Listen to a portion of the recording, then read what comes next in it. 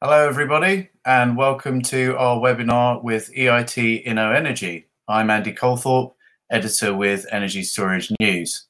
Today, we're focusing on an exciting area of innovation in energy technology, and that's the role of ultracapacitors in the energy transition. Now, ultracapacitors allow for very rapid charge and discharge and can undergo many, many cycles with little or no degradation due to the fact that, unlike batteries, they store energy electrostatically rather than chemically, and they can deliver very high power very quickly and efficiently. Now, it's an area that is very well understood by some people and less well known by others. In this session, we will have the opportunity to hear a number of perspectives from the bigger picture right down to the fine details.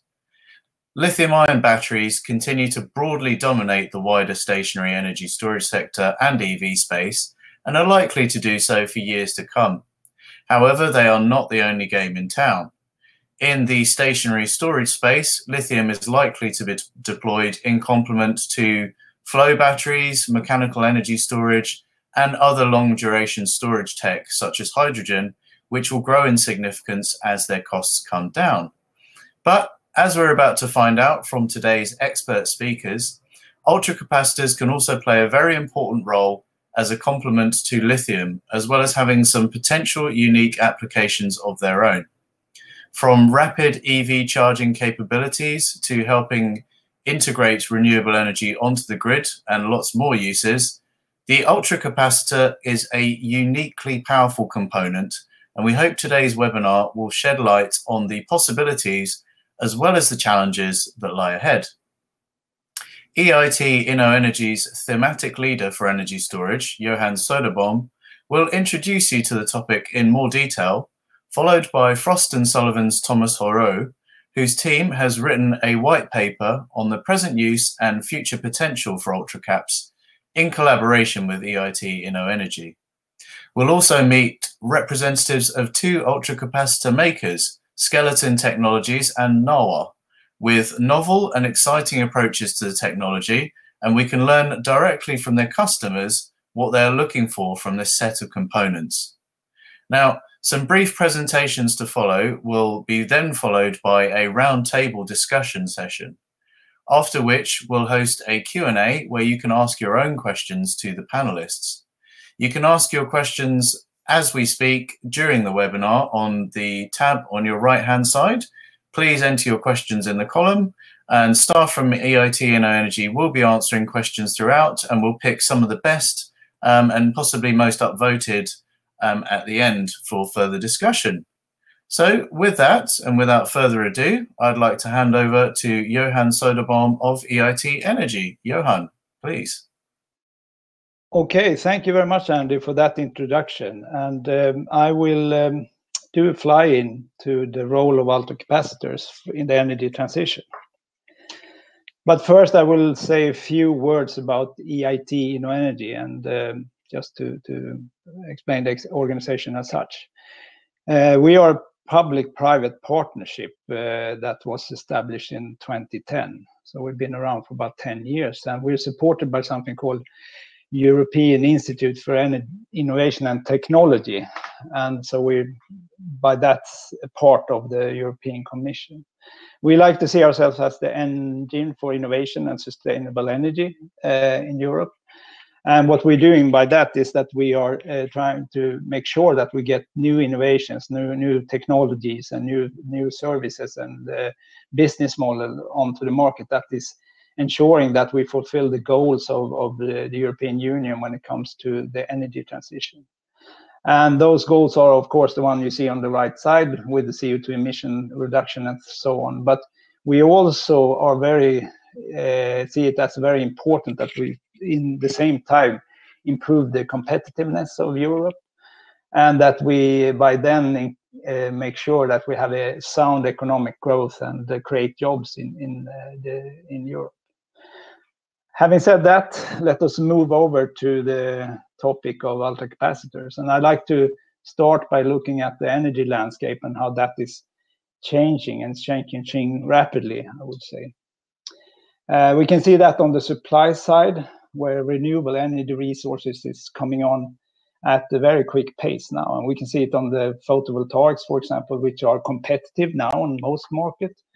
And it's uh, actually the fastest growing investment uh, uh, area of, of the renewables that we see today, or, or actually by all the generation capacity.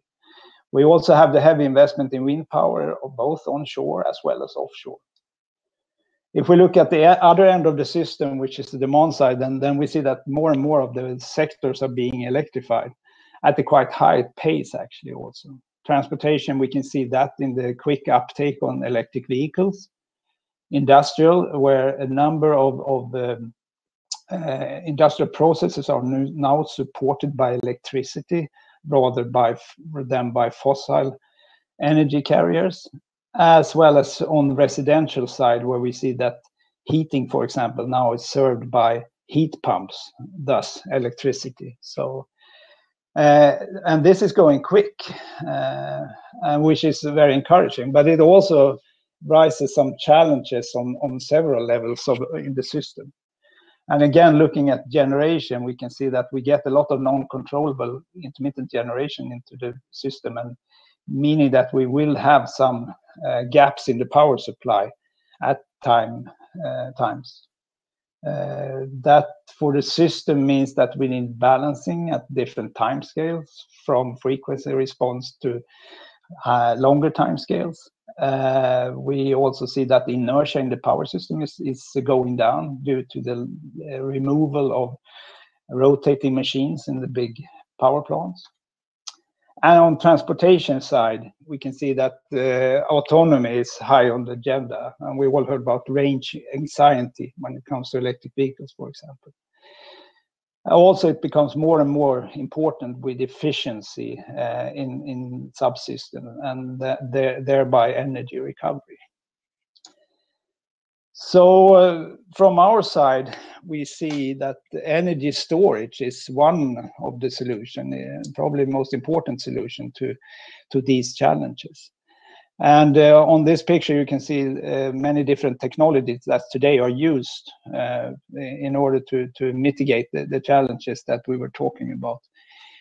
And uh, the uh, most prominent or the go-to solution, I would say, for the last years uh, when it comes to storage, at least the new storage in, in the system, is batteries. And specifically, I would say lithium-ion batteries that has been promoted and pushed by the automotive industry that that really is um, uh, demanding a large uh, uh, number of batteries, which is driving down the prices and makes them, and also increasing the specifications, all of, but makes them more interesting in several applications.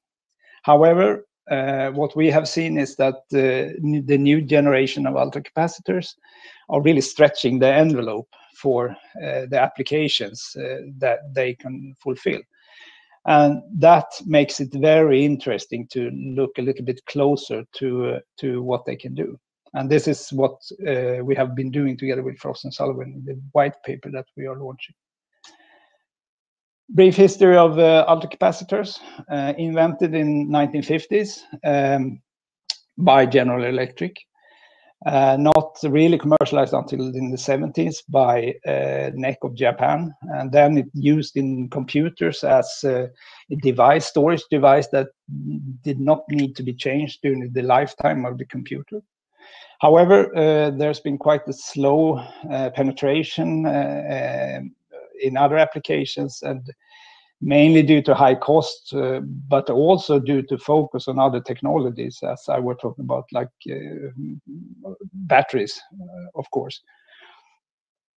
But recently, the, the energy transition and, and the focus uh, that that is putting on, on different challenges has really increased the, the interest for ultracapacitors.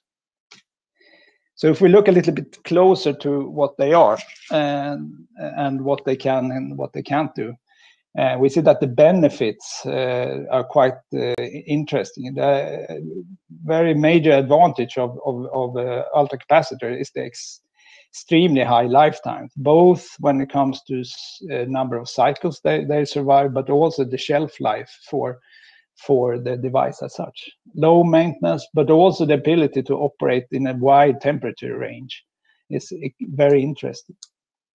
And again, still there remains some some challenges, uh, which is the cost and in some uh, instances also the the low energy density compared to batteries.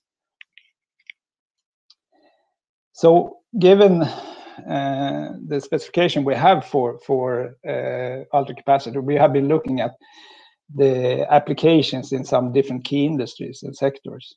Uh, and we know that uh, across all these sectors we've been looking at, that the ultracapacitors have a place to fill, either as a complement or as a replacement to existing technologies.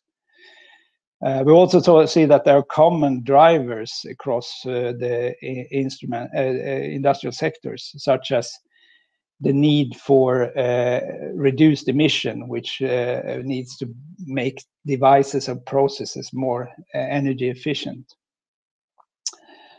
We also see to some extent that distributed devices, such as IoT devices, require also distributed energy resources, which of a small scale, but high power. And, this is a, position where ultra ultracapacitor definitely can can uh, come to big advantage. So if we dive in a little bit uh, deeper into each of these sectors and look at the, the advantages that we can see there. And starting with automotive, we see that even on, on vehicle level, we see a need for more de decentralized uh, short-term power sources uh, to handle a system like uh, cooling fans and uh, body control or, or other electrified uh, uh, parts of the vehicle, which is becoming more and more. Specifically, if you go to a full electric vehicle, this is interesting. Uh, we also see in the future, if you look a little bit longer ahead, that when we get into autonomous vehicles, they need to will need to interact with the roadside environment meaning that there is a lot of uh, communication that needs to be done between vehicles, but also between the vehicle and, and the uh, traffic environment. And that needs also uh, local power sources. More detail on the applications. As soon as you hybridize a vehicle, then you will need start-stop functionality, engine cranking, uh, high power applications, excellent for ultracapacitors and not the least uh, kinetic energy recovery system to handle the brake power and and re reuse that storing it somewhere and uh, here you need really high power applications and this is excellent for for uh, ultra capacitors. uh, Uh, expanding this area a little bit into more of a, a, a holistic transportation than rail bus track marine off-road equipment we see that also here the, hybridization is, coming quite strong and, we see engine cranking and start stop functionality as being very, very uh, interesting in this case. And again, uh, of course, uh, kinetic energy recovery and, and, and uh, in some ways of, is definitely of, of high interest here. So uh, one interesting fact is that uh, one of the first applications for ultracapacitor was actually on trams, where they were operating in catenary-free opera uh, operations. So part of the tracks not covered with overhead lines were were uh, handled by uh, the vehicle by having ultracapacitor on board. So already quite early, ultracapacitor had a, a transportation use. Moving into power grid, where we are looking at generation, transmission and distribution, and industrial applications. Uh, again, there are gen sets in this world uh, that need uh, cranking and startup. But I like to point to a um, different application, which I believe will be quite interesting for for uh, for future applications, and that is adding synthetic inertia to to a transmission system. Uh, this is something that that is needed and generally handled by by uh, um, adding uh, uh or running uh, power plants in, in existing power plants in different ways. But actually, the quickest way to add inertia to the system or high power application to the system is to add some sort of storage. And in this case, um, supercapacitor, ultracapacitor can be an extremely interesting way. We have another uh, application which is pitch control for wind turbines that we've been looking at. I will not go into that because uh, the next presentation will dive a little bit deeper into that subject and explain it more. And finally, coming into the industrial applications, which are quite uh, diverse, we see that also here, if uh, we have systems that are operating, uh, moving around high masses, big masses, such as cranes or elevators, and also in oil and gas industry, energy recovery systems are of high interest. And here I like to point also to another application that's uh, extremely interesting and also growing very, very rapidly. It's uh, autonomous guided vehicles. And these are the, the robot vehicles that are running around in warehouses. And uh, that, that market is growing extremely quickly. And uh, the, the interesting thing here, by adding uh, ultra capacitors to, to a, a AGV vehicle, you have the opportunity to to minimize the the number of vehicles that is necessary because you can charge them extremely quickly within seconds and then keep them running in the warehouse, which is uh, very interesting for the business model. Uh, finally, here it's worth pointing out again IoT devices, Industry 4.0, interesting because you will have a number of devices that need powering uh, in uh, uh, different locations across an industrial environment. And again, here the ultracapacitors are, are of great interest. Finally, then, um, we believe that ultracapacitors have quite a bright future. And just looking at the current generation of, ultracapacitors, it, it is competitive in, in many, many ways, uh, as we've seen here. But also, we, we believe that within the coming 10 years, that uh, that we, we will see a significant drop in the price point of, of capacitors, but also an, an increase in, in the energy density.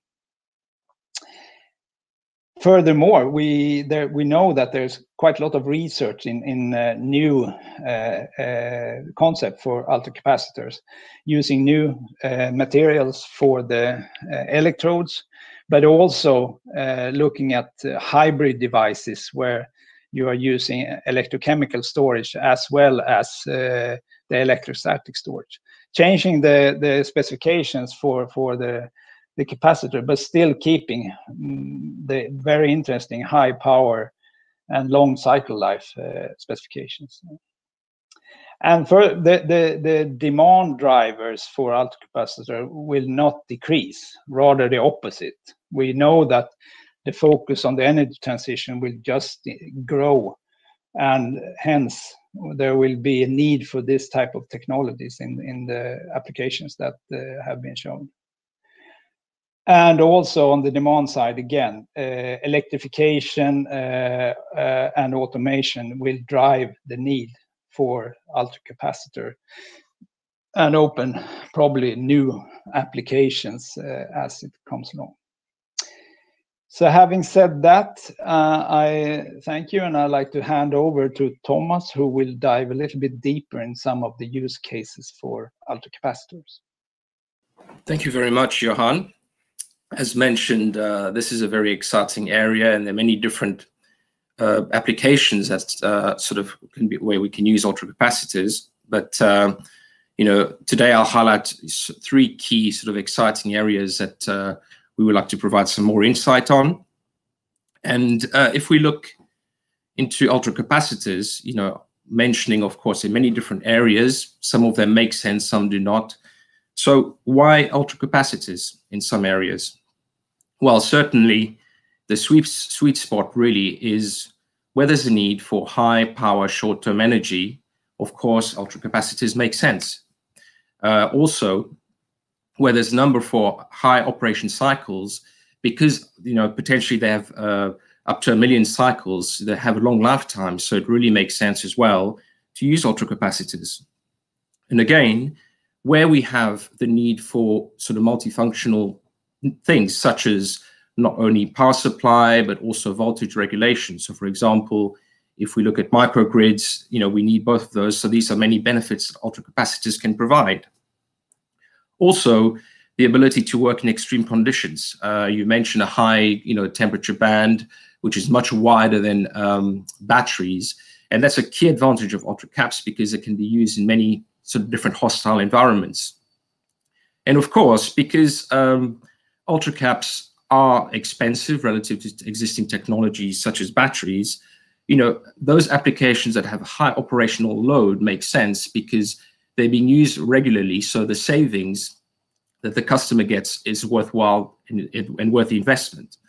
However, as we mentioned, and you've mentioned before, there are key challenges that remain. You know, you have the the price, which is very significantly more than say batteries, and really the energy density is obviously lower relative to batteries. So these are key areas. But despite these, when you have the sweet spot, ultracapacitors make up for those differences or weaknesses. And also one thing we need to consider is our ultracaps will also require a redesign of equipment architecture for them to be integrated. So that's another challenge. Regardless, uh, there are these applications which make sense, as I said. So looking at three of them uh, in detail today, we have lead acid battery replacement or hybridization, wind turbine pitch control, and also various industrial applications, such as uh, cranes and, and uh, elevators. Moving on to lead acid battery replacement. Uh, obviously, lead acid has been a technology which is very established, it's very cheap, it does the job, but the weakness is that it needs to be replaced very often, often every two years or so. So this is quite a cost for operators. And ultra caps here have a huge advantage, as I mentioned, in having a much longer lifetime.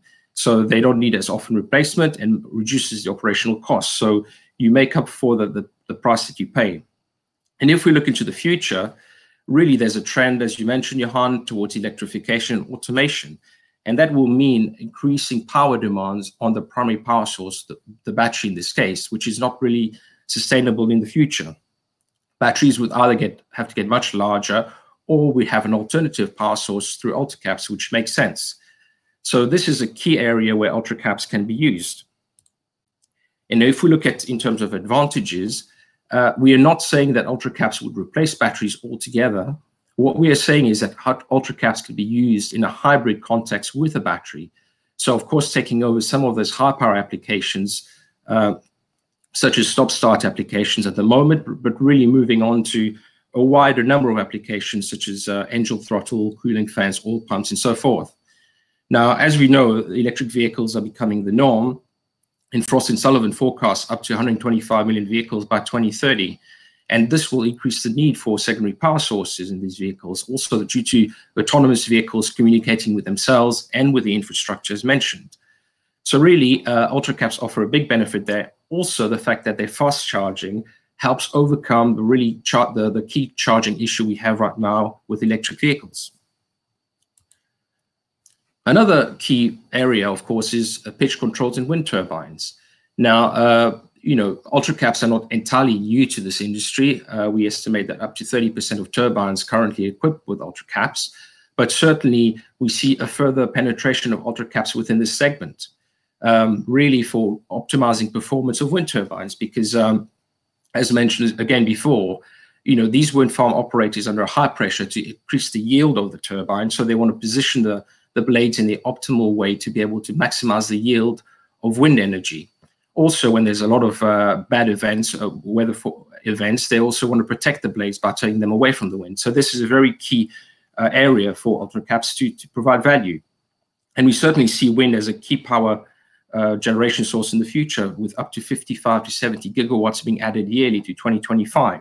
So there is a huge amount of uh, growth potential in this area, especially in the offshore segment, which is often hostile environments. So the fact that ultra caps can work in very extreme uh, temperature bands is a real benefit.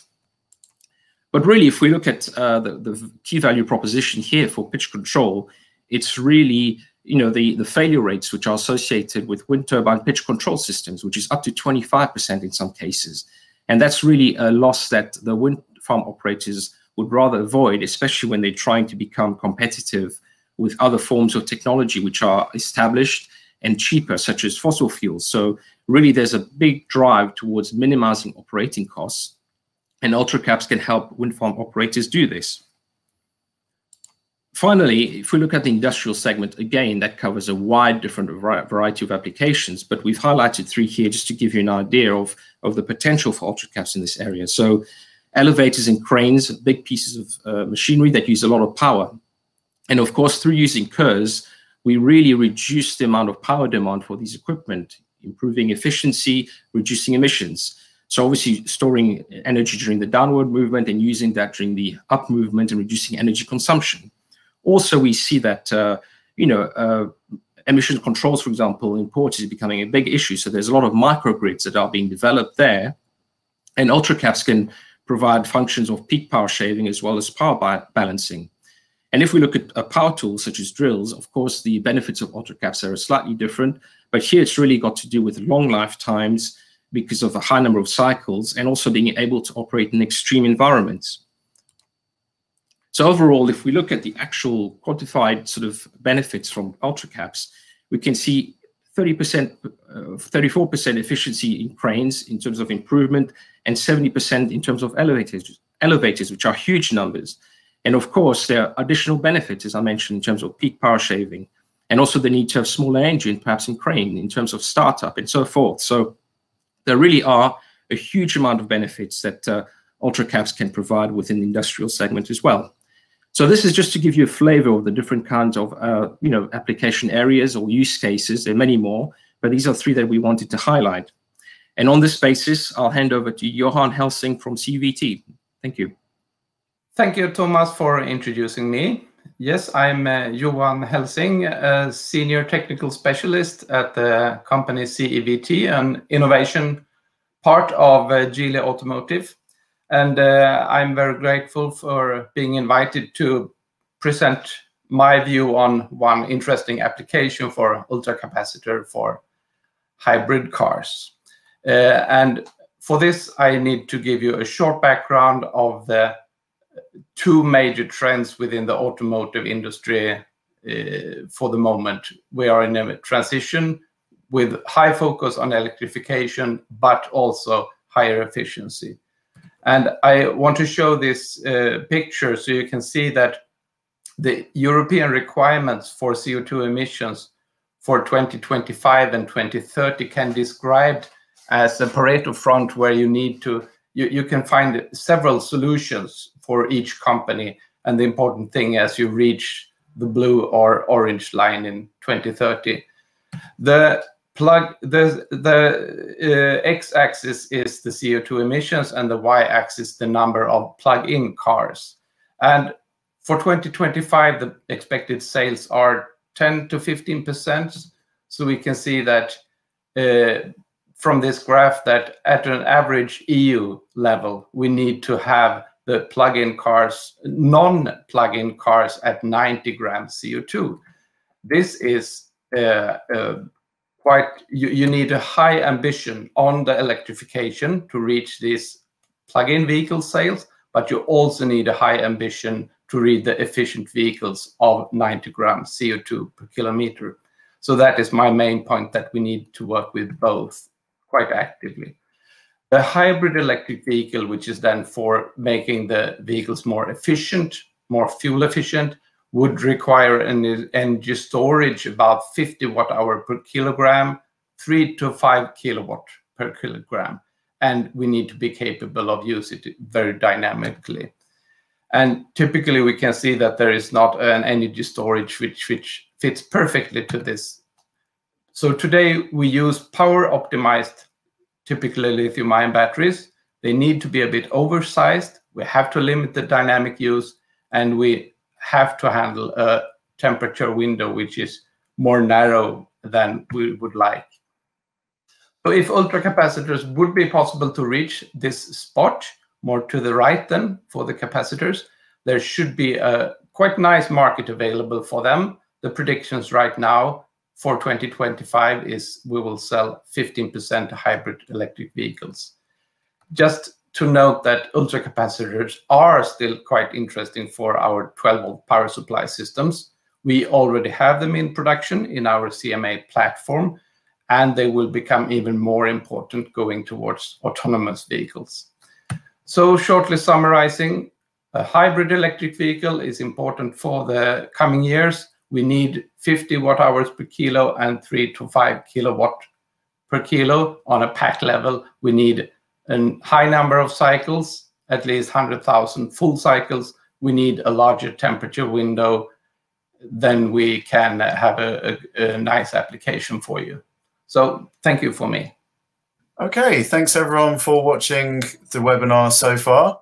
Um, I hope you found it as illuminating and exciting as I have. And um, yeah, we'll carry on with an even more dynamic part of the session today. We're having a roundtable discussion. And um, firstly, just want to say thanks very much to Thomas from Frost and Sullivan. Uh, he won't be joining us for the roundtable, but obviously, thank you, Thomas, for your hard work on the white paper, which will be available obviously for further perusal. And remaining with us is Johan Söderbom from EIT InnoEnergy and other Johan, Johan Helsing from CEVT is still with us for the sort of third party customer view. Um, and also I'd like to welcome onto the stage now two technology providers in this uh, exciting class of technologies. Egert Valmra, who's the program director with Skeleton Technologies. Egert, hi, if you'd like to join us now. And also with us is Ludovic Eviard, who is the general manager and also founder at NAWA Technologies. Hello, Ludovic. Hey, Andy. Brilliant. Okay, thanks everyone for joining us. And we've got a few questions that I think we should uh, to, should get through. Um, we would like to maybe start off with a, perhaps a bit of a general question, I suppose. Um, and that is really that uh, for you, Johannes, um, EIT Energy being a crucial player, as many of our viewers will know, in the European Battery Alliance, and that's helped to direct billions of euros of investment into advanced battery fabrication and the supply and value chain in Europe. Um, do you think we could see a similar sort of effort um, in terms of ultracapacitors? Yeah, um, first of all, uh, uh, the ambition of InnoEnergy in um, the European Battery Alliance is to make sure that we in Europe set up a, a value chain that uh, ensures that we have um, uh, possibility to manufacture sustainable lithium ion batteries. Uh, that will be able to serve the OEMs that, that's operating in Europe. And doing that is recovering the entire value chain and supporting everything from mines through active materials, through cell manufacturing, all the way up to, to recycling. And there's been quite a big effort on that. And in near time, I, I can't really see that we would do exactly the same for supercapacitors. But having said that, uh, there is about 500 plus organizations in the network of the European Battery Alliance. And uh, uh, by joining that, which is fully possible, of course, for for uh, technology providers or someone that's interested in in exploiting uh, ultracapacitors, you have an opportunity to to uh, exploit that network in a way where you, for example, get very good contacts with customers or with other organizations collaborate with when it comes to development and stuff. So from that perspective, I think there's a lot to be gained by just integrating into the European Battery Alliance as a uh, other cap. And furthermore, I think that just by the sheer size of investments that's being put into the lithium ion value chain as it is now, I mean, there are about 17 gigafactory projects that's being established on European ground now. Just by the sheer amount of, of money being put into this, there's a number of development uh, activities and innovation activities that's going on, which definitely have an opportunity to, to benefit, be beneficial also for the ultracapacitor, either for manufacturing or, or for actually the other way around, where you have uh, technology transfers uh, between the two technologies. So I think already today there's uh, uh, benefits to be gained by by integrating into the EBA. Right. I mean, I guess increasingly, you know, we're hearing this word used, a, a battery manufacturing ecosystem, and I guess that's re really what it is. You know, it's not just a static kind of uh, you know rigid organization. So I suppose there's a lot of scope for kind of the movement within that sort of network, I suppose, and, and outside of it, really, I guess. Okay, excellent. So a question I'd like to put um, across all the panels, really, across the panel, really, I guess, um, is that you know it's a real buzzword within renewables, I guess, is hybridization, and it's I guess it's quite important to to sort of really you know the definition of what a hybrid means varies across the board but we've seen some hybrid energy storage systems recently combining for example lithium batteries uh, with flow batteries um, and flywheels um, even with lithium. Um, and then we've also heard about hybridization across many other sort of types of applications but yeah what's the potential really for ultracapacitors to complement technologies such as lithium ion, not just lithium ion, but such as. Um, and I guess we, we, can start going around the clock here. So perhaps Johan, if you'd like to give a, a point of view from, from EIT InnoEnergy and then hand round the panel, I guess that would be great. Yeah. Uh, uh, sorry. Johan S, sorry. Johan S. Yeah, yeah, that's uh, it's complicated with too many Johans around the table. But, but let's happen. you want to start then. And uh, from InnoEnergy's perspective, uh, we already from the from the start, onset of, of the, the organization InnoEnergy, where we invest in in uh, different um, uh, organizations and startups that that uh, contribute to the transition of the energy system. We saw that combination of, of uh, these two storage technologies is is something that has an possibility to to drive down the price point for, for storage system, but also increase the usability, durability of the system. So from that perspective, we have been quite excited of, of both these technologies. Uh, we heard some about this in the presentations, but but but I think this is a, a, good opportunity then for for uh, uh, for our technology providers to, to talk about this. So I, I would hand the word to to Egert from Skeleton. Oh, well, thank you. Thank you very much, Johan. Um, batteries uh, have uh, the great capability to store large amounts of energy, while ultracapacitors have about 100 times more power. So the question becomes uh, whether the applications have long and calm discharge and charge cycles, or are they intermingled with higher power peaks, like in voltage regulation, for example? And when these high power peaks um, are roughly around 15 seconds or so, in most cases, it makes sense to have ultracapacitors in parallel with batteries to cover that power peak. The alternative is to oversize the battery in order to handle these peaks without losing any of their lifetime. And well, it is more cost effective to do that with ultracapacitors instead. And this actually works the other way around.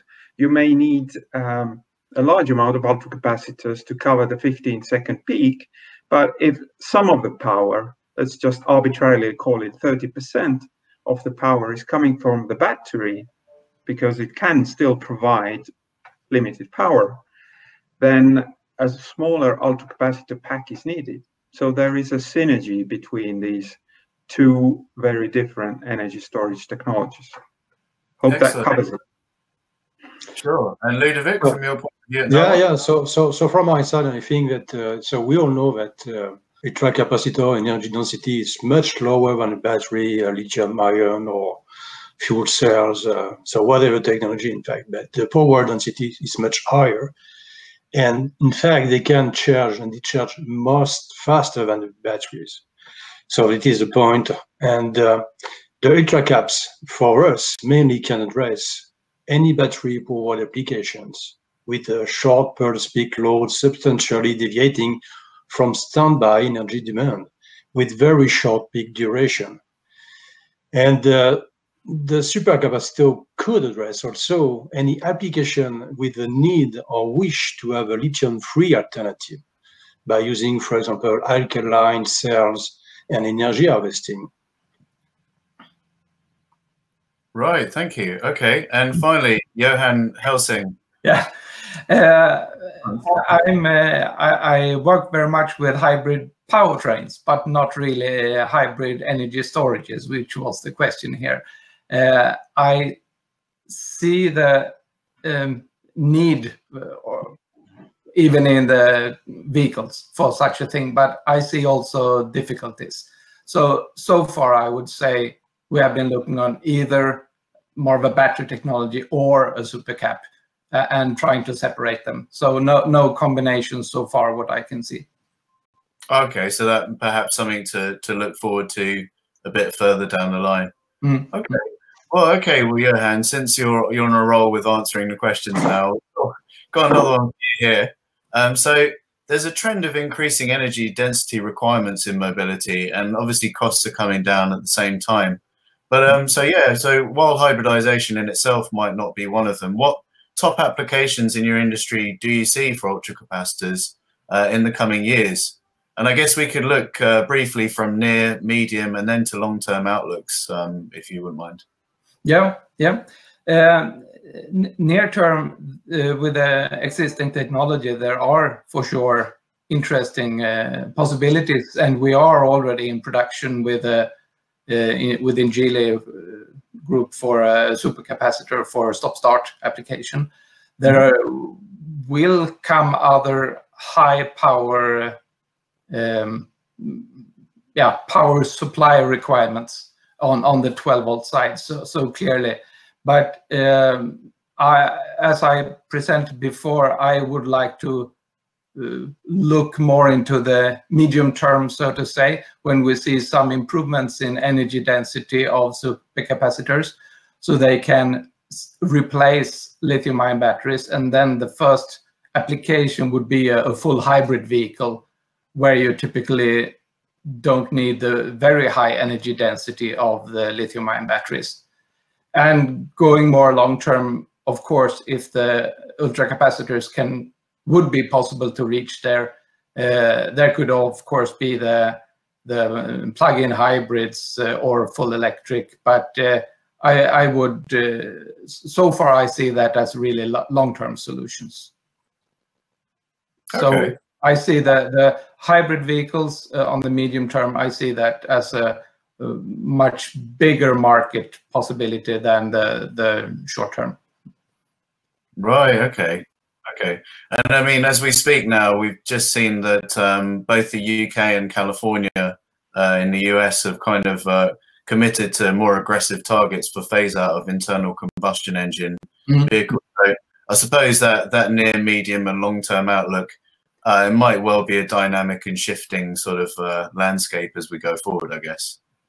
Yeah, for, for, when I speak about the medium term and hybrids, then uh, it, it is of course still a combustion engine. So it is. Uh, mm. Sure. Okay. Um, still a lot of those around, I guess. All right. So, um, question now for skeleton technologies. There's something that I've written about for Energy Storage News um, a little while ago, and it was something that was fairly new to me, but um, I believe Skeleton Tech has a specific solution for kind of pitch adjusting or, or feathering wind turbine blades.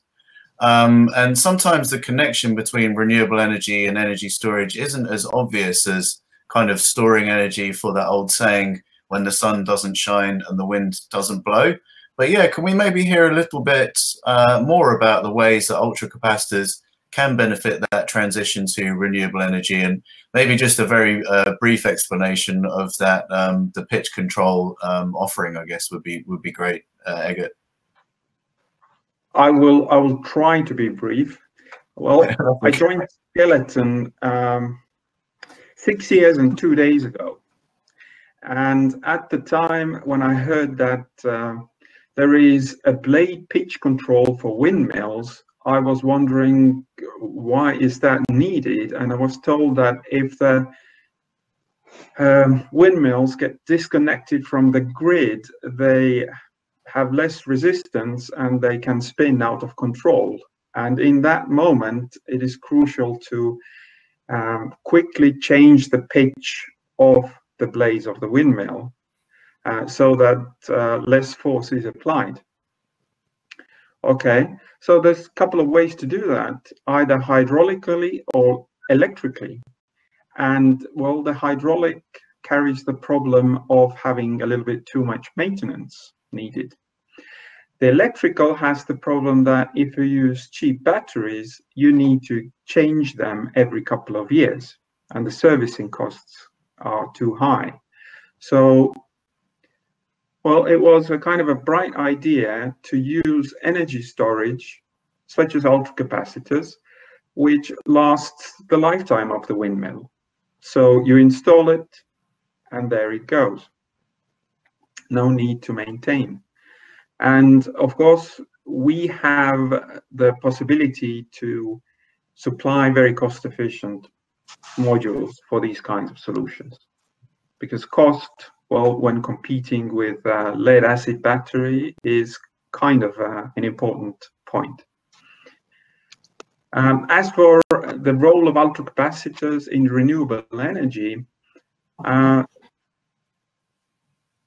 there was a, a, very interesting analysis done by uh, by academics in England. Um, they made a thought experiment: how much costs would it incur if 60% of UK energy demand was met with windmills? And because windmills uh, do not have enough rotational inertia, uh, they do not help stabilize the grid. And in order to offset that, you need different power plants on standby, idling, to provide um, uh, the balancing power input. And the cost of that, in case of 60% penetration of windmill power, in UK would be 3 billion pounds per year. And these kinds of uh, revelations have led to the situation where the grid codes of the US and many European countries have been changed so that the renewables companies also need to supply not just energy but power when needed. And in some cases, this means that the windmills need to run at a curtailed power, meaning that the earnings are lower. This is something where batteries can do a certain part of the work, but combining batteries and ultracapacitors can provide a more high power input into the grid, meaning there is no need to curtail uh, the power output of the windmills. So this is sort of one area where uh, renewables and ultracapacitors meet other than just windmill pitch control. Right. Okay. Okay. So, I mean, I think it's really important that events like this webinar kind of help to raise that awareness overall, really, I guess, of the role that technologies like, uh, you know, innovative technologies like ultra capacitors can play Brilliant. Okay, well, no one ever said the whole energy transition was going to be a simple one. Um, so yeah, the uh, with NAWA, um, uh, Ludwig, what sort of uh, different applications are you exploring, and how can your technology solutions kind of benefit those? So uh, I don't want to uh, to to to put, I would say, uh, on the table an exhaustive list because you have, uh, I would say, a number of applications addressable by UCAPS, and it's, it's really huge. And um, so for now, we have selected and chose, uh, I would say, uh, uh those we think have the biggest commercial potential and that fit uh, our technology. Um, today, we mainly explore four domains of applications. Uh, the first one is IoT. The second is, I would say, light electric vehicles and especially urban LEV. Uh, power tools and uh, automotive. Um, for the IoT, uh, so you have many applications like tracking unit, GPS, GPRS, energy harvesting, powered IoT devices using low energy protocol like LTE, LoRaWAN, ZigBee, etc. But also you have smart sensors or actuators. And the main problem for designers and uh, end users are the size, the autonomy, the lifetime, and the recycling of battery used. Regarding the power tools, um, it's not only the screwdriver you stock in your garage. Huh? Uh, you have uh, hundreds of applications that cover professional and consumer needs. Um, and more power is, of course, essential to propose better performance.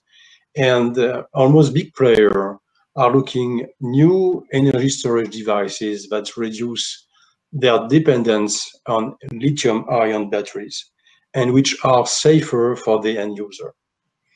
Regarding the, uh, I would say, urban NEV segment, uh, we all see flourishing for three or two wheels vehicles, even one with the gyro wheel in our cities. These new vehicles um, need energy storage system capable to manage uh, fast acceleration, fast braking, and acceleration again thousands times along their trajectories. And the power is essential to deal with this uh, new usage, and UltraCap have a big role to play beside current batteries. Uh, concerning automotive market, uh, this is, uh, all know that this is a huge piece of cake.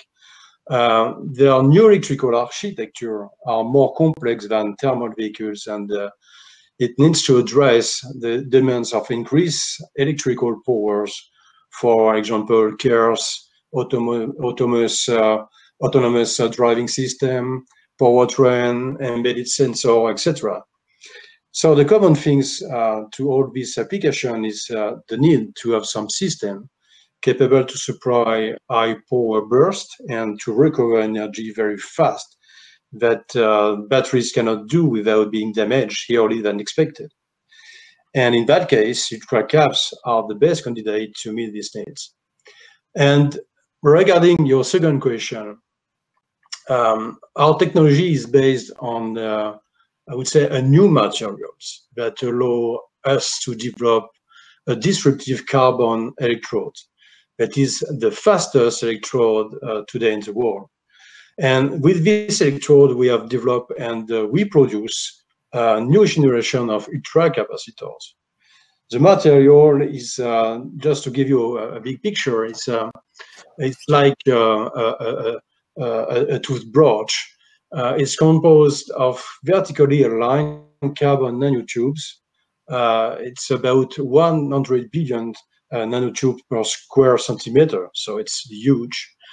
And these nanotubes are all aligned and oriented in the same direction.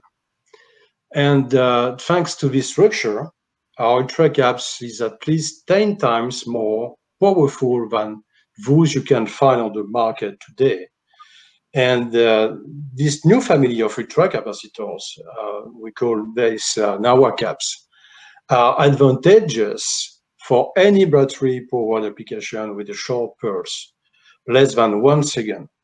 And combine or not with batteries, they bring opportunities to design a device uh, that can be smaller in size, volumes, and uh, weight than existing solution, uh, often oversized, in particular for the batteries. And by handling power peaks, um, this technology can significantly expand the battery life and improve also the safety. So if I have some time again, so I can give you just an example. Sure. Um, to take an IoT device, for example. Yeah, so the IoT device use many types of uh, battery technology. And uh, so from non-rechargeable rechargeable primary batteries, uh, such as regular double A or triple A alkaline to lithium primary cells or rechargeable lithium-ion battery. But the need to provide a repeated power burst for transmission limits their lifetime, uh, causing early failure or heat problem in the circuitries. So combining uh, the ultra capacitor with a lithium cell, creating an hybrid battery has many advantages. If we take a GPS tracking device as an example, uh, it often used to track variable assets, and the conventional approach is to use a non-rechargeable AA lithium battery, but this is very bulky. if you integrate uh, NAWACap, you can immediately reduce the reliance on lithium AA to AAA size batteries with superior performance and increase the lifetime as well. So one could also combine NAWACap with, uh, I would say, uh, a coin cell, resulting in, a, uh, in uh, uh, an even later um, a flatter, flatter like package. Um, so it, uh, it, it brings a lot of advantage, in fact, for that uh, kind of uh, application, and it could save also money, of course. Excellent. Okay, so I mean, I think one thing that's been really interesting about all of today's event really is not just in terms of what ultracaps uh, are and what they can do, but also just like with lithium batteries and you know like we've seen in the last few years is a constant process of optimization uh, across clearly the, the technology class. And i think it's been really interesting to hear kind of what that that means for today um, and obviously in terms of the potential. Um, but you know bringing us back to i think perhaps only a small portion but at least some of the people watching today may only have heard about ultracapacitors and, and supercapacitors um, perhaps if, if, only because Tesla bought um, the capacitor maker Maxwell Technologies um, a while back. And of course, a few days ago, we had Tesla's battery day where we heard about how that company intends to, you know, their, their mm, uh, kind of wave of disruption or attempts to disrupt continue with, you know, changing materials and so on. Um, but I mean, I see, for example, they spoke um, about how uh, Maxwell's IP is based um, greatly around a novel electrode manufacturing process which they've applied to batteries and it's taking the drying step out of battery manufacturing so kind of removing that wet processing step.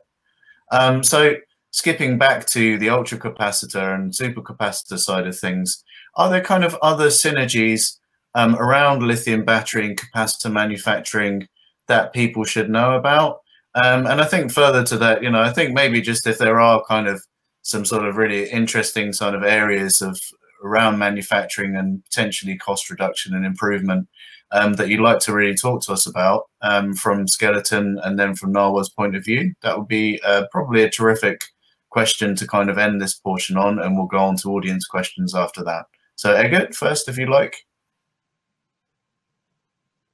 Sure, sure. Um, I have to tread very carefully now because battery industry is a much more mature industry than that of ultra capacitors.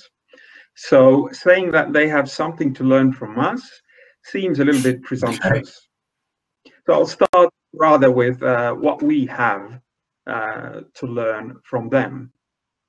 And the first thing is, for sure, is the level of automation in production.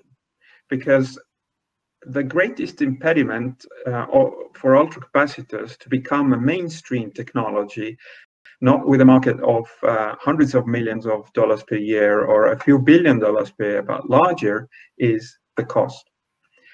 Uh, and automation in battery industry has progressed much further than uh, in ultracapacitor industry, where you still have only what we call islands of automation that people still need to be involved to quite an extent between the different automated stations. Um, and I must say, in very general terms, that uh, here we are preparing to work together with battery companies to actually take the next steps in automation, not only for us, but for the battery companies. So these are the keywords uh, what we have to learn from batteries. But there are a couple of things, or at least one I would like to bring out, where battery manufacturers can benefit from the experience what ultracapacitor manufacturers have gained. Um, well, ultracapacitor electrode has such low resistance that that's the thing that gives them the high power, right? it has such low resistance that we have had to pay great attention towards how to get that all, all that power out from the electrode and transmitted to the power systems. this has not been such uh, a large um, such, such a large uh, deal for battery manufacturers because the battery electrode has higher resistance per se. And well, if we go a little bit back in time and look, for example, at the 18650 cell, then uh, there are battery cell, there are several components that just add uh, more resistance than um, uh, well they they, they uh, contribute about half the resistance of the whole battery that's not really a problem if you are not taking much power out of it but as soon as you need to take more power out you start losing a lot of energy to heat and ultracapacitor terminal design can eliminate that part. Or rather, there is possibility to reduce the resistance, at least if you take an older technology like 18650 cell, by about a factor of 8 to 10. So there would be much less heat losses as a result. So the that is at least one point where a battery industry good could benefit from our experiences. Okay, well, well, maybe Elon on the phone soon. okay, terrific. Um, yeah, so yeah. okay, fair enough. Um, and Ludovic, um, your answer to that? So I, I think that uh, so I I fully agree with the Gert, and uh, so there's something that I can add. In fact, uh, from our point of view, is uh, so I explain you that uh, we develop uh, I would say new electrodes, very fast electrodes that could be used also by battery manufacturers. So just an example, we can't replace in fact the anodes or cathodes with these new electrodes. Of course, we need to have, I would say, some work to do, but uh, we have, I would say, a good chance to have, I would say, a new technology uh, that will improve the battery performance also. So that means that uh, we have really a synergy with the between, I would say, our technology, capacitors, and battery manufacturer. Right, amazing. Okay, okay, brilliant. So um, I hope the audience has learned as much as um, as much as I guess I have today um, in terms of what's what's been discussed. But I think so now we want to turn it over to all of you that are watching um, at home or in the office, or I guess both these days. Um, and let's have some questions from the audience. Okay, so we have had dozens and dozens of questions in. Um, we've only got a fairly short amount of time to get through as many of them as we can. So I cannot, oh, just been refreshed there. Apologies. I hope you can hear me. Um, so yeah, I can't guarantee by any means that we will get through all of these questions because there are many, many of them. Um, and yeah, there's only one or two that directly refer to Tesla as well, which is a, which is a bit of a quirk to see. So Let's run through some of the through modern technology. Obviously, one of the great things we can do is see how popular things are in real time. So we've got the lists of questions, but I think one that kind of first came up that is maybe a bit of a light-hearted one to kick us off with uh, was on the difference, if there is any, between super and ultra capacitors. Um, anyone? I think when we were going through rehearsals, uh, I think Egget, you mentioned that you you had a pretty good answer for this one. Do you want to just talk the uh, people at home through that? Oh, right. Well, ultracapacitors and supercapacitors are both electric double layer capacitors if you really look it up in your physics textbook. Um, marketing department likes to say that they are ultra. Uh, scientists like to say that they are super. Um, but somewhere down the line, I think there was a differentiation made that uh, anything over 100 farads should be anything below that might be called a super. Um, but both are electric double layer capacitors. You can't go wrong with that. The marketing department of course goes with ultra. Okay, and well, so we got that one cleared up. I think that's uh, that's a pretty good start. But I mean, there's another one that's kind of, I guess, on on nomenclature that I'm personally not that familiar with, and it's a question there from Anthony Valero um, that I think yeah, 16 other participants wanted to know the answer to. Uh, what is your opinion on pseudo supercapacitors and hybrid systems? I can also take this one, I guess, uh, at least get started. Uh, Johan from uh, CEVT as well. So uh, this question and also a question about our proprietary code, curved graphene material as well as uh, Tesla cell size, etc. They are all related to one issue, and this is better energy density, which also ties in with cost. And uh, using a pseudo capacitor uh, technology to get higher energy density is one way to do it. Uh, there are other ways as well, and I can tell you that if you look up uh, in recent uh, media coverage, uh, Skeleton Technologies and KIT, Karlsruhe Institute of Technology, then you will see that we have started working on something called a super battery. And this is, again, one of the technologies which can be used to get higher power density while trading, sorry, higher energy density while trading away power density lifetime. Um, Ludovic, is that is that one that you've got a particular viewpoint on? Um, regarding the, the last question, or also the next question? uh, on the pseudo pseudo uh, supercapacitors and hybrids, is that something that that you feel like it fully answered? Really, I guess. Yeah, I hope so. So um, from our side, we are working also, and we are developing, I would say, a new uh, a new technology by combining uh, lithium-ion uh, technology and ultracapacitor. So we speak about uh, what we call LIC, that means lithium capacitor uh, technology. And of course, uh, so it's um, it's probably the, the, the next innovation that we could bring to the world with higher energy density, etc. And so a lot of people are working on it, and in particular, NAWA but this technology will be probably uh, not uh, accessible before, I would say, uh, two two years. Certainly, certainly. Okay, and Ege, we're glad to see you've uh, you've managed to get back with us there. That's great to see.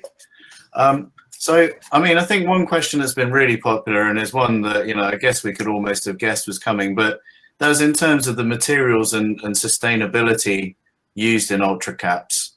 Um, and I mean, I guess, yeah, what is sort of the metals footprint of that? And I mean, the question that actually came in word for word from Jacques Milan was, uh, what is the environmental footprint of modern caps compared to batteries? Um, are they recyclable? And I see um, EIT Energy has given a, the quick answer that they generally contain no complicated materials, so that in that respect, the recycling is straightforward. But would anyone sort of care to elaborate on that point at all? Um, but uh, so uh, just uh, a short answer from my side. Uh, so we all know that uh, the lithium uh, batteries need lithium, of course, but also cobalt. so that is a very limited resource, and we all know that to extract, I would say, um, that kind of material from ores um, has a big in, impact on the environment. So it is really a, a, big problem today. And regarding the ultracapacitors, uh, so uh, it's mainly based on uh, on carbon materials, uh, aluminum, uh, and uh, so some electrolytes. But so it's um, it's it's from an environmental impact point of view. So ultracapacitor is uh, much cleaner than lithium-ion battery technology, for sure. Sure. Okay. Uh, Andy. Yeah. Sure. Yeah. I, I cannot uh, the technology much. I can only emphasize from the automotive industry when we are going to more uh, uh, electrification that the environmental part of the battery technology is, uh, or supercap technology is really crucial. So it's it's high on the agenda. Absolutely. Hmm. Okay. Um, anyone else weighing on that one before we move on? Okay, excellent. All right, so there's, I mean, there's a question that is, uh, you know, I think in terms of the cost versus lithium-ion battery. Now that was a, a fairly popular question uh, among the audience, but I think in some ways my understanding is that it's not an entirely fair, well, not not unfair, but it's perhaps a, a little bit of a, a trick question in a way in terms of the you know the applications being very different um, and so on uh, between lithium ion and ultracapacitors. But maybe we could just get a sense of how we kind of assess what the cost of an ultracap is and using one. Um, and, you know, what are the, some of the ways we can think about that? Um, but then also we could turn that into a two-part question and, and sort of kill two birds with one stone. What are sort of some of the ways that you see, and you did refer to this earlier, of kind of lowering the cost of ultra caps and, and maybe some of the tech breakthroughs that either you've already done or can sort of you know can sort of see coming in in the roadmap ahead. I guess that question could be for me for skeleton technologies. Sure. Um, the, the way to look at it is uh, not to keep staring at uh, what is the price per kilowatt hour. Uh, batteries uh, have passed the $200 per kilowatt hour mark, are moving towards $100 per kilowatt hour mark, or maybe have already crossed that Rubicon. But um, we like to say that ultracapacitors are in the megawatt second business. So we move to megawatts instead, instead of kilowatts and seconds instead of hours.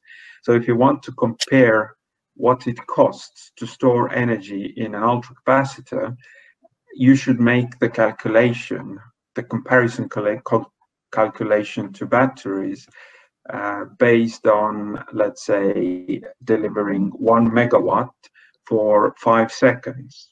And what you will come up with then uh, that it's much cheaper to do with an ultracapacitor. Uh, I am not giving any specific price figures for one very specific reason. This is that uh, depending on application, the specifics of an application, the actual cost of the megawatt second can be quite different. I can, I can just comment on that as well. And I think uh, Johan Helsing actually gave an answer to that in his uh, presentation. But but I mean, I think it's uh, it's good to emphasize that it's the functionality that uh, has to be uh, looked upon when, when, you're looking at the price point. And one one typical application where where it's been investigated uh, to some extent is to replace lead acid batteries as starter start supporting or start uh, energy in, in vehicles. And, and, there's fairly easy to compare that to find a price point where ultra caps can actually compete on this side. And then you should also look at it uh, from the perspective that it's uh, it's uh, the longevity of, of the device as such. So there are many parameters that needs to be compared in this. So it's not just straight kilowatt hour per kilowatt hour here in this case. Uh, just a comment from my side. In fact, uh, um, if you compare the price not in euro uh, per kilowatt hour, but in euro per kilowatt hour per number of cycle, okay, track capacitor is by far much lower than the lithium-ion battery by a factor 10. So it depends on what you uh, want to, to discuss on. I, I, would yeah, I, I, would like to comment on the um, comparison um, dollar per kilowatt hour because the price which is normally communicated is price for energy optimized lithium ion batteries for battery electric vehicles. And when you look on the cost per kilowatt hour for a power optimized lithium ion battery, which is for the hybrid vehicle, which I was uh, speaking as a middle midterm application, then the cost per kilowatt hour is much higher. So uh, it's probably difficult to avoid this cost per kilowatt hour for us at least. But for sure, you should compare apples with apples. And power optimized yeah. batteries are much more expensive than energy optimized ones. Absolutely.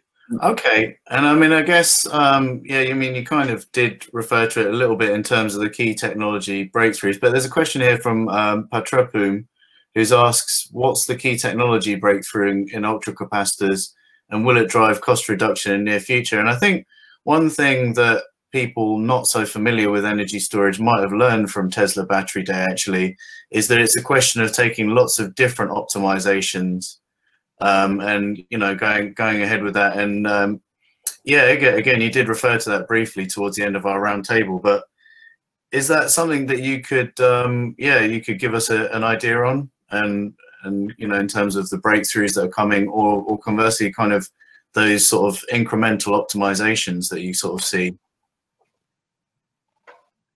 Um, I'm afraid that when it comes to ultracapacitors, it is less about, uh, well, when we are looking in the future, it is less about incre incremental changes and it is more about uh, uh, fundamental innovation or um, disruptive innovation, as some people call it. So, for example, uh, we have the patented material which uh, we call curved graphene. And uh, together with the voltage increase, this can uh, increase the energy density of an ultracapacitor up to three times. So this is this is not uh, a gradual change. This is a clear step change. And when it comes to super battery, I am not going to commit uh, to any specific numbers, but again, the energy density of those devices should be or should take another big leap uh, forwards. Um, okay. Hope that covers most of it. Is it? So we are taking big leaps still.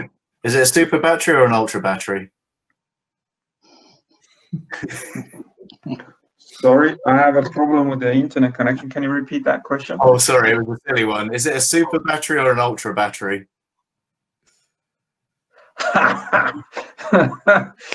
um, ask the marketing department. You know? it, it's, it's, it's, a super battery and uh, it sounds good, but in actuality, it's uh, an electric double layer capacitor with something extra in there. Okay, okay, fair enough. Um, Ludovic, have you got a, a, view on those technology breakthroughs? That I mean, I think again you did refer to it briefly towards the end of the roundtable. But if I could just stop you for a second, um, it hasn't yet been upvoted, but someone called Julien Plan has asked us, and I hope this is something that makes sense to you. Can you tell us a bit more about the electric motorbike with ultra, ultra capacitor they have developed last year? So if you could start off with the, the technology breakthrough question, but I, I don't suppose I'm the only one who wants to hear more about that electric motorbike if possible as well. Yes, so I think that uh, so uh, you speak about NAWA Racer. So NAWA Racer, I would say, is uh, uh, an innovative uh, concept uh, by using hybridization for motorbike. Okay, so we are working on it now uh, for several months. Uh, the first prototype that uh, we show was during the CES exhibition in Las Vegas early this this year, and uh, we had a lot a lot of demand and interest.